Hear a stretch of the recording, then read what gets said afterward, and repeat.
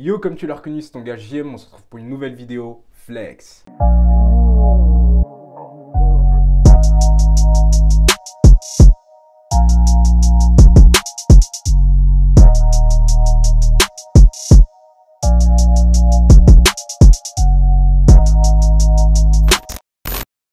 Vraiment ouf, j'ai toujours l'impression d'avoir la peau sèche avec ces lumières, c'est un truc de malade. C'était vraiment très intéressant. Là n'est vraiment pas la question du tout, je pense que si t'as cliqué sur cette vidéo, tu sais très bien de quoi on va parler. Et pour ceux qui sont vraiment chelous, ben lis le titre frérot.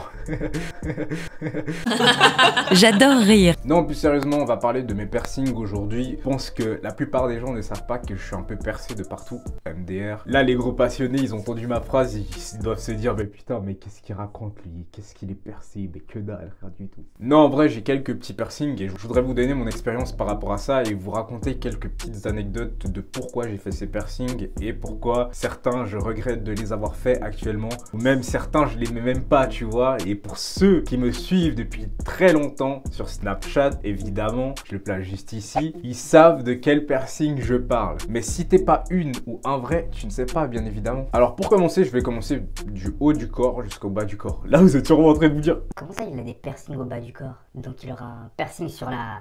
Mais non Mais non Mais, si Mais non Alors en tout, j'ai 8 piercings. Là, vous êtes en train de vous dire, mais où t'as pu les mettre ces piercings? On va commencer par la tête. Le premier piercing que j'ai eu, c'est à l'arcade. Ça, il y a presque personne qui le sait. Et je vais vous raconter comment je l'ai fait parce que c'est totalement débile. Je suis trop con rien que d'y penser. Ça me gêne tellement. J'ai pu être con sur le moment, tu vois. En fait, si vous voulez, ça a été mon premier piercing, comme je viens de le dire. Et je me l'étais fait parce que c'était à la mode. Ensuite de ça, je l'ai fait illégalement, bien sûr. J'ai fait genre euh, une vraie ordonnance de mes parents, etc. Je suis allé chez le perceur et le mec il a tout gobé et il m'a fait mon piercing. Et suite à ça, j'ai eu mon piercing. Franchement, pour vous parler de la douleur, bah pour moi, été comme les oreilles en fait. C'était vraiment d'un coup et j'ai rien ressenti. Et ça peut vraiment dépendre de certaines personnes parce que moi je suis pas douillé de ouf. D'ailleurs, vous allez savoir pourquoi je ne suis pas douillé parce qu'un de mes piercings, je l'ai fait moi-même. Si vous voulez, moi il m'a pas tant fait mal que ça. Et c'est après avoir fait ce piercing que j'ai été con. Vous savez pourquoi? Parce que j'étais jeune, me jugez pas. J'étais ultra con parce que j'ai pas pensé justement à l'après-piercing, à comment les gens allaient me voir. Et le truc que je redoutais le plus, c'était ma mère en fait. La ceinture bleue, la ceinture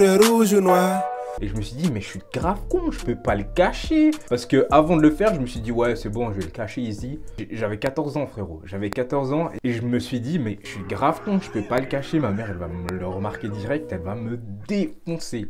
Donc, ce que j'ai fait, c'est que quand je suis rentré, déjà, je suis rentré comme ça, genre, du coup, je le cachais. Et ma mère, elle n'est même pas au courant, hein, juste pour vous dire. Le cachais et tout. J'allais en cours avec. Certaines personnes m'ont vu avec. Certaines personnes m'ont pas vu avec parce que je le cachais. Et certains de mes anciens potes, leurs parents, ils étaient très proches de mes parents. Du coup, justement, c'était chaud de leur montrer. C'est pour ça que des fois, je cachais, tu vois. Et du coup, ce que j'ai fait, j'ai dit que c'était beaucoup trop risqué et que j'allais me faire griller bêtement et j'allais me faire fouetter bêtement, tu vois. Et du coup, j'ai décidé de l'enlever. Dépenser 80 balles pour rien du tout parce qu'au final, je l'ai enlevé. Donc voilà pour l'histoire de mon premier piercing. Ensuite, j'ai fait mes oreilles. Vous dites, euh, ouais, les bouts d'oreilles. Non, j'avais fait la barre justement, juste là, et je trouvais ça hyper stylé. Et à l'époque, les filles, trouvaient ça grave stylé, que ça me donnait un charme. Et moi, j'étais grave content et tout. Et il me semble qu'une fois, mes parents, ils l'ont vu, mais je leur ai dit que c'était justement un truc aimant que tu mettais là et, et ça joignait les bouts. Et ils ont totalement gobé et je l'ai pas gardé très très longtemps parce qu'au final, je le trouvais pas si ouf que ça. Et sur moi, c'était pas, voilà quoi. À part que j'avais l'avis des filles, tu vois, mais moi, il me plaisait pas tant que ça. En vrai, je l'avais fait parce que un de mes anciens potes à moi l'avait fait et je trouvais ça grave stylé. Oui, oui, j'étais un peu un mouton, je l'assume, mais là n'est pas la question, tu vois. Donc, pour vous parler de la douleur, franchement, il m'a fait un peu plus mal que l'arcade parce que c'est fait en deux trous. Du coup, tu sens le premier et tu sens le deuxième. Et je pense que c'est ça que pas trop supporté. Mais j'ai pas douillé tant que ça parce que si vous voulez, c'est du cartilage. C'est vraiment que du cartilage, l'oreille.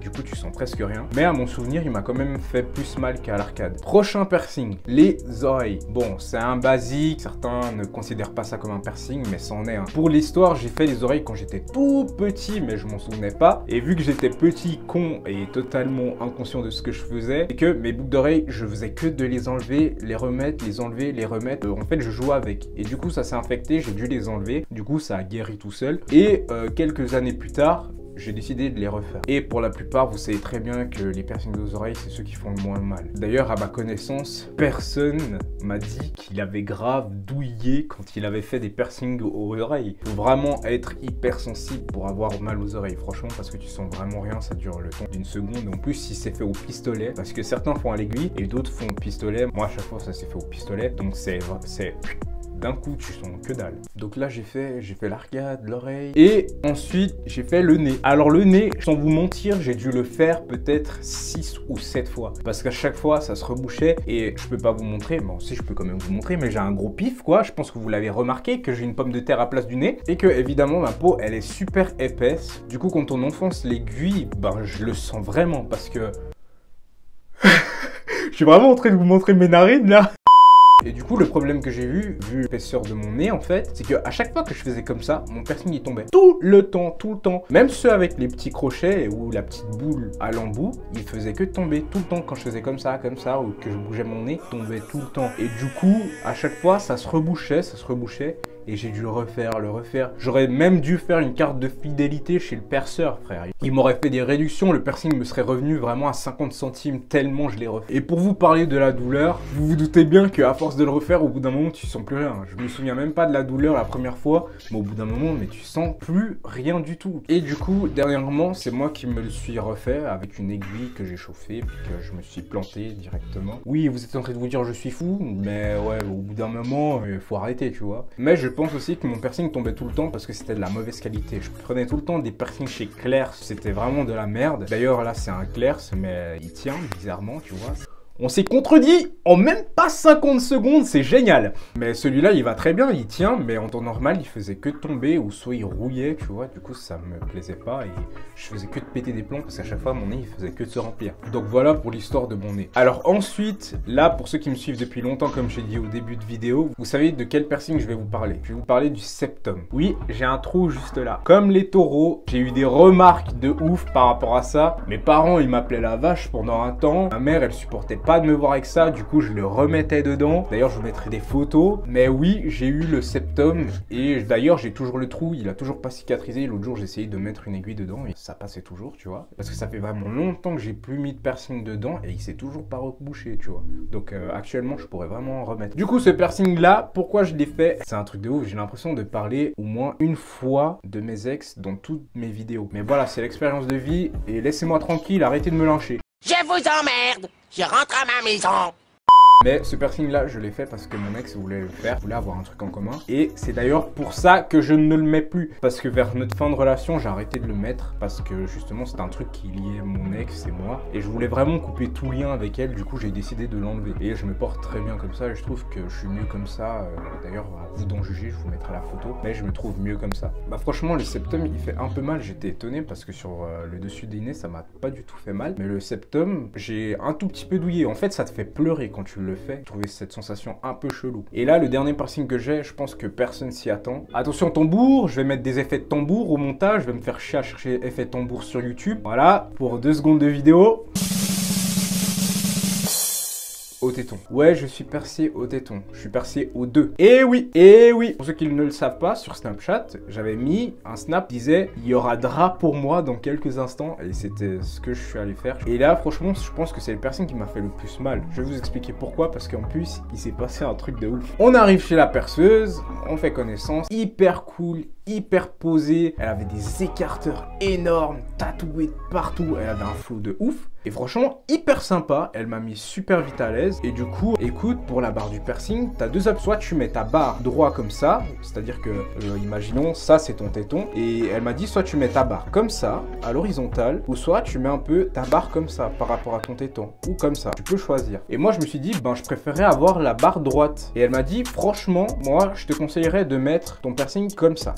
Parce qu'en fait, si vous voulez, elle m'a dit, puisque t'es un peu musclé, que tes pecs dessinés, c'est plus joli esthétique que faire ça droit, ça suit pas ton corps en fait. Et du coup, je l'ai écouté. Du coup, je me mets sur la planche, elle arrive avec ses aigus et tout. Franchement, j'étais décontracté parce que les piercings, c'était pas mes premiers. Je redoutais pas la douleur. Comme je vous ai dit, je suis pas quelqu'un de douillet, donc je redoutais pas la douleur. J'attendais juste qu'elle vienne et fasse son taf, puis voilà. Premier piercing, elle passe.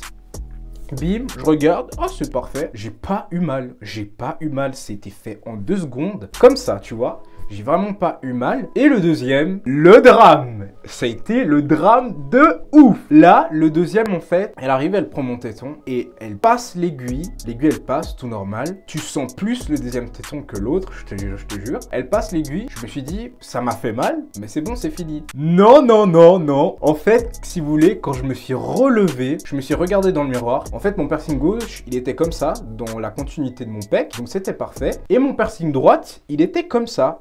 Donc au lieu d'être comme ça, il était comme ça droit. Du coup, ça me faisait un piercing dans la continuité de mon pec et un piercing qui était à l'horizontale. Et c'était dégueulasse. Elle me fait oh là là, ah ouais et tout. En fait, sur le moment, elle m'a même pas proposé, elle m'a rien dit. Elle m'a dit écoute, euh, je suis désolé, elle s'est juste excusée. Et moi, je l'ai regardé, je lui ai dit non, je lui ai dit écoute, tu veux repasser, il y a pas de souci. Et c'est moi qui lui ai proposé, tu vois. Elle a été étonnée que moi-même je lui propose. Je lui ai dit si tu veux repasser, vas-y. Du coup, je me suis remis et elle est repassée dans le même trou pour me remettre mon piercing comme ça. Du coup, au début, il était comme ça. Et après, elle est repassée dans le trou pour me le mettre comme ça. Et là, mais comme j'ai mais un truc de ouf. Quand elle repasse dans le même trou et tout, c'est pas du tout la même sensation. Et là, gros, je peux te dire que mes niveau douleur, on est au summum. Mais summum de chez summum. Et bien évidemment, du coup, elle, elle me l'a refait. Puis quand je me suis relevé, j'ai trouvé que c'était parfait. Je pissais le son du, du, téton droite, mais ça allait. Je trouvais ça vraiment grave beau. Juste là, je, les ai toujours, mais j'ai toujours les bijoux de, de base. Je sais plus comment on dit. Les bijoux médicaux. Tu dois attendre, je crois, 4 à 5 mois pour la cicatrisation et ne pas toucher tes piercings. Tu dois mettre une crème dessus, tu dois laver avec un shampoing spécial que tu achètes à la bijouterie. Et euh, du coup, elle m'a tout donné et tout. Euh, elle s'est excusée mille fois. Moi, j'étais là, je l'en voulais même pas. Elle était tellement agréable, tellement chou que ça passait, tu vois. Et du coup, j'ai fait mon piercing, tout s'est bien passé. Et là, ça fait peut-être quoi? Ça fait peut-être 5, 6 mois que je les ai. Là, d'ailleurs, je devrais aller changer le bijou parce que j'ai des bijoux de merde. Donc, en gros, je crois que ça fait 7 piercings. Et en fait, quand je l'ai fait ce piercing, vous voyez, je me suis pas dit, ouais, les gens, ils vont me je suis un gars, je fais des piercings au téton, rien à battre, mais rien à battre du tout. Je trouve que esthétiquement, ça rend plus beau ton corps, les piercings au téton. Mais je trouve qu'il faut être carré, tu vois. Si t'es genre trop maigre ou genre un peu enrobé, je trouve que ça le fait pas du tout. T'es bien dessiné, bien formé et tout. Je pense que le rendu, il est vraiment terrible, tu vois. Encore plus si tu mets des tatouages et tout je pense que ça peut péter. En tout cas, on arrive à la fin de cette vidéo. J'espère que ça t'a plu, que tu as pu recueillir certaines informations par rapport à ces piercings, si tu veux en faire un jour ou pas. Comme d'habitude, lâche ton like, ton commentaire, ton partage. Peut-être que ça peut intéresser un de tes proches. En tout cas, pour ma part, on se retrouve très prochainement pour une nouvelle vidéo. C'était ton gars JM. Porte-toi bien. Flex.